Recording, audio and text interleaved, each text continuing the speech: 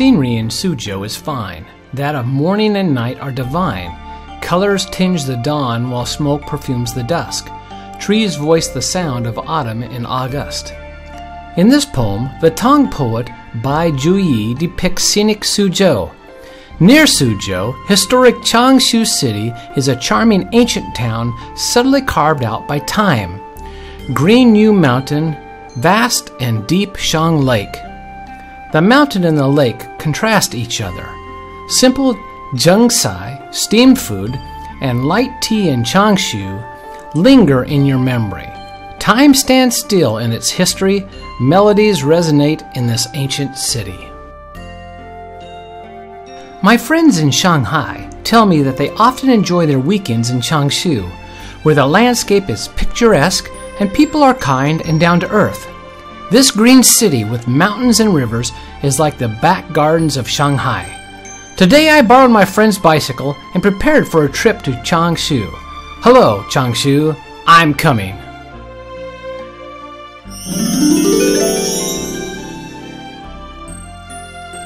A Changshu local often begins his or her day with a bowl of shun yo mian, noodles cooked with fried pine mushrooms. At 7 or 8 o'clock every day, the noodle house beneath Xingfu Temple is already crowded with people. The elderly drink tea, play with birds, and play card games. The young go to work after eating shunyo mian.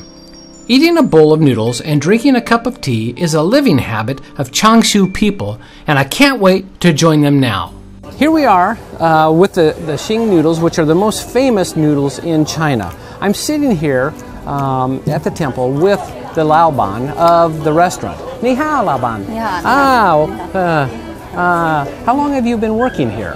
这个店已经开了有三十几年了，我在工在这里工作也有十几年了。嗯常熟人的生活很休闲的，早上起来爬爬山，吃碗面条，喝杯茶，打打牌，嗯然后就上班， Ah, 很休闲的。 ah, okay. Can you tell me about the ingredients that are in uh, the soup, in the noodles? 嗯，这个是我们这里山上的野生的菌菇。 The boss told me shun is a kind of wild mushroom, among which pine shun and chicken breast shun are the best and are mainly produced in Yu Mountain, Changshu. It is natural and healthy. The toppings in shun yo mian consist of fried shun. It has a sharp aroma and tastes so delicate.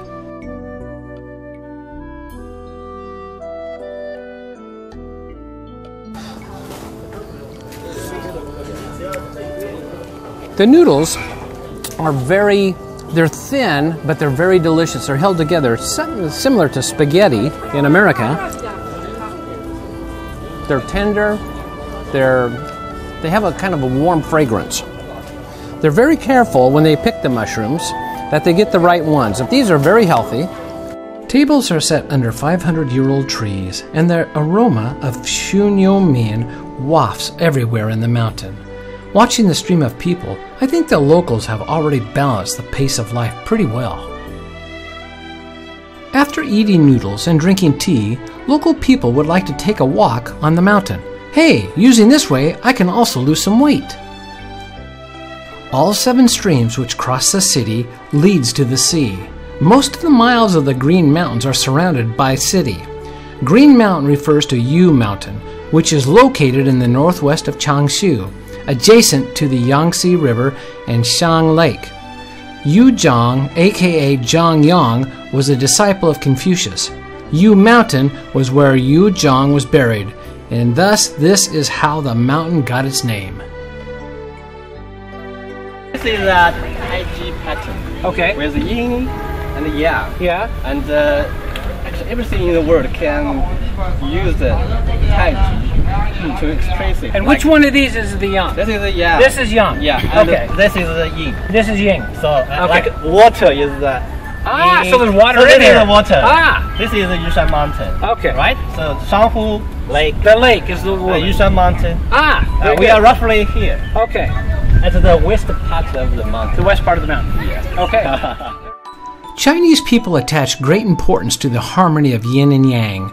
Yu Mountain and Shang Lake in Changshu perfectly represent the balance of yin and yang. With a bird's eye view over Changshu, we see Shang Lake is in the west half of the circle, while Yu Mountain in the east half of the circle. These two halves constitute a perfect Tai Chi diagram. Wang Daohan once used the expression, among the lakes and mountains in the world, the best ones are in Changshu, to describe the landscape in Changshu. He was teaching me some Tai Chi, some Kung Fu. We were on the top of the mountain, and the story on this mountain is that there was an ancient king. He went looking for a sword on the mountain, had many of his soldiers looking for a sword. Couldn't find it, and so the, the king got angry and took the sword that he did have and he struck a rock, and it split the rock. And so that's kind of a, it's called like a razorback um, on top of this mountain. Miles of green mountain and seven streams are beckoning tourists to experience the water in Jiangnan. We visited the Yu Mountain yesterday. Our goal today is Shang Lake. Let's go! My friends told me that Shang Lake was formerly known as Xi Lake or Shangqian Lake. Legend has it that in the Lake Shang Dynasty, Jiang Shang lived along this lake as a hermit in order to keep himself away from the despotic rule of the king of Shang. This was why people called it Shang Lake. Look, there's a person in a bathtub going to and fro in the lake. He seems to be picking some tiny flower shaped plant. It's interesting. I also want to have a try. a man told me to relax before I enter the bathtub. I should put my feet in the center of the basin, keep my balance, and then go forward. I will march on. Go! My legs are too big. The bathtub is the means of transportation a water chestnut picker uses to pick water chestnuts. Its small size allows a person sitting inside to go everywhere on the water. Uh, here's the water chestnut that they're picking up out of the lake, and I think you just open it up. Maybe? Ah, see?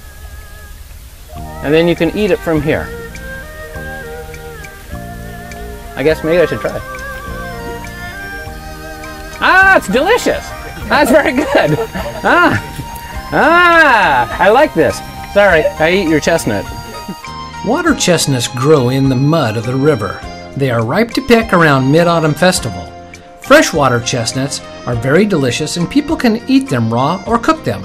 There are famous water chestnut dishes, such as water chestnut congee, cooked pork with water chestnuts, and etc. From the ways people plant and eat water chestnuts, we can see how Changshu people follow the rule of nature and develop an eco friendly life. Now, the fun part about this is very similar to a bumper boat. On a hot summer day, it's great fun to play in the water. I don't know how to pick water chestnuts, but sitting in the bucket, I can turn round and round. It feels like I'm riding on a bumper boat. It's very interesting. Can this be counted as an invention? Spent a lot of time in the water now. I think it's time to go back to shore. Hey, how? Hello. Hello, Hello. 你是一个人。啊，yes，对。你好。你好。oh, just gotta not go off the road.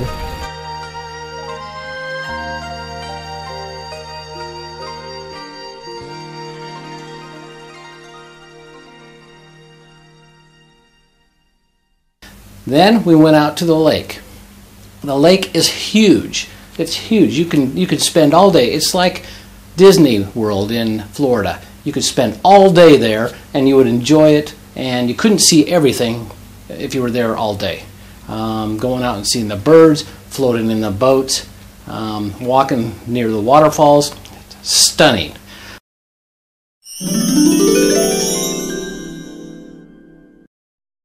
In China, what I watch the most is neither American TV shows nor variety shows, but I watch the Chinese documentary, A Bite of China. Why? Because culinary delights are my lifetime pursuit. Haha, you can see it from my belly.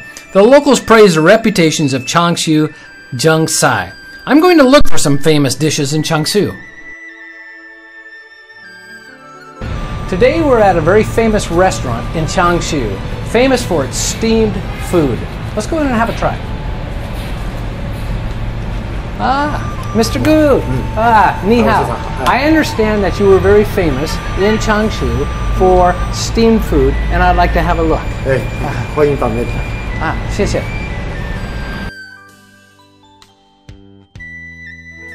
Food is the chief necessity of the people. When enjoying the food, everything before your eyes brightens. Changshu Zhengsai, is a vital part of Changshu food culture. Zhengsai, that features a fresh aroma and delicate taste, is favored by people at home and abroad. Zhengsai also embodies the quintessential philosophy of Jiangnan cuisine, the integration of heaven and human as well as natural. How is it cooked? 呃，我先从那个第一步讲，下面是我们那个地菜的那个大白菜， Ingredients of Dong Xiang Jin include shredded scallops, pigeon eggs, ham, fish maw, chicken breast, winter bamboo shoots, etc. After seasoning the ingredients and cooking them, put them in order into the bowl to form a circle. Pour broth in the bowl and steam the food for 30 minutes using moderate heat.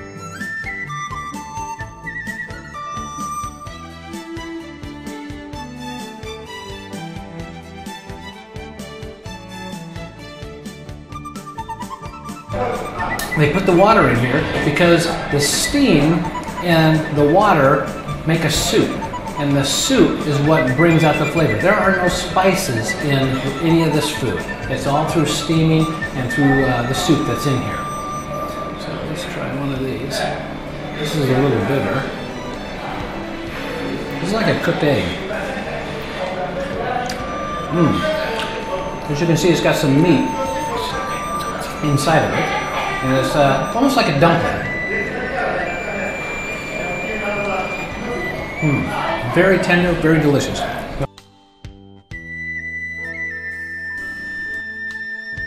Zhengcai steamed food at first was mainly popular among citizens.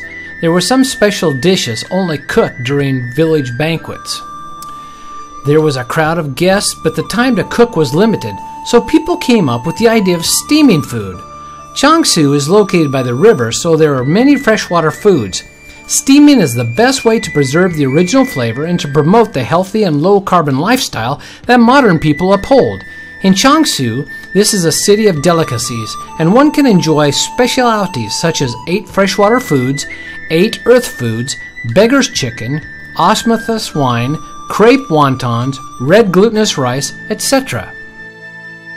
Changshu specifically has relations, strong relations with Australia, Japan, France, and of course the United States.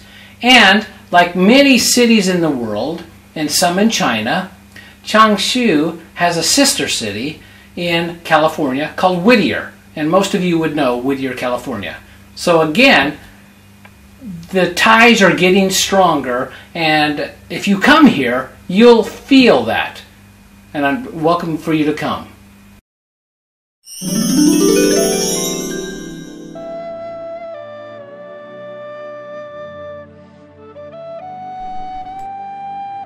a bike to search for delicious food, touring streets and lanes, smiling at everyone and saying hello to them is the way of sightseeing that I find quite pleasing.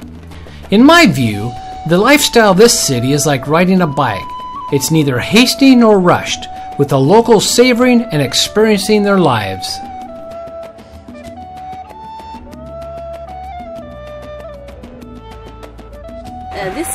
oh, yeah. around the, the old uh, city. but, oh, this is the old city. Hey, no. This is the old city. Hey, and, and and this the new. this is oh this is new. Sinda. Ah ah. Let me tell you a small secret. I do appreciate the lifestyle of the Changshu people, a slow paced life. What is a slow paced life? In my view, a slow paced life is embodied by the bridge and running water on Hedong Street, the peddling vendors on Nanmen Tongxiang, the bathhouse conventions and Yu Chun Stir bathhouse, the copper coin hangings made by a granny in an old shop,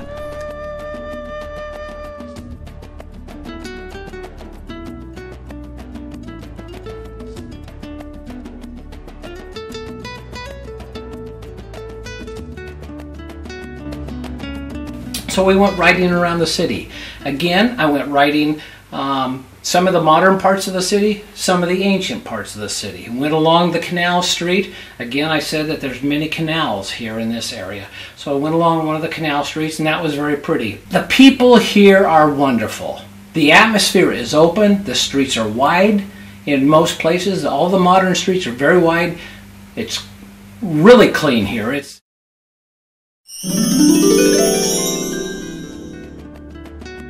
Do you know what a Kuai Sheng Huo is? Literally, fast life. Kuai Sheng Huo is a happy life. My Chinese is not so good, but I have no problem with chatting in Changshu. Everyone is enthusiastic. Saying the word hello along with a big smile and my unique laughter, I can make friends with people from all genders and ages.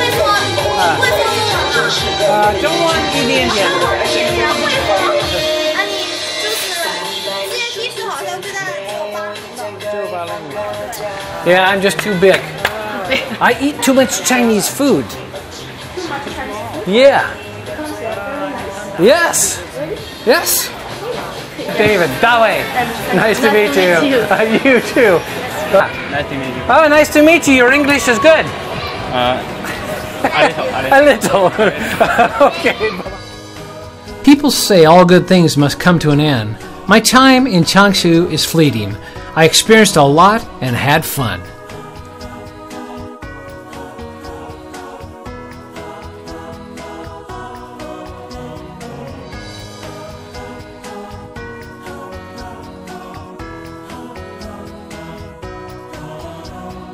Changshu is a beautiful city. As you can see, we're standing here on the ancient wall. Now, this is the city wall. It looks new because it's been rebuilt, but it's very ancient. In ancient times, it was a fortress. It actually housed a military group up here. And if, of course, if you wanted to try to get on the wall or go over the wall, you had to go through the military, and you had to have a special pass to do that. Now, Changshu is two parts. There's an ancient part and a modern part. In today's China, everyone wants to modernize to the best of their ability because the people want to grow, they want to move forward. But they want to keep their history here in Changshu, so they're trying to preserve that very well. The new and the old are not necessarily contradictory. They more likely merge into each other. Nowadays, ancient Changshu in Jiangnan is developing with international concepts. It is green, natural, healthy, eco friendly, vivid, and energetic.